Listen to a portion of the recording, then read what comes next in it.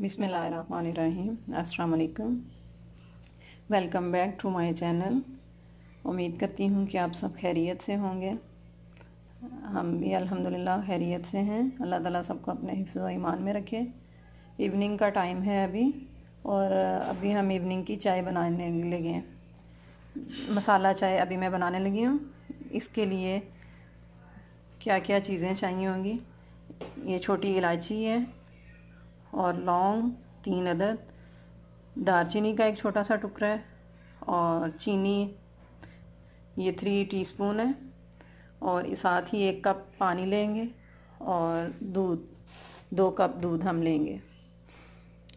चले आए, अभी हम ट्राई करते हैं कि कैसे हम इसको बनाएँगे और सा एक पैन लिया। इसमें ये एक कप पानी डाल के इसको पकने के लिए रख लेंगे साथ ही इसमें ये मसाला, दालचीनी, लौंग और इलायची डाल देंगे।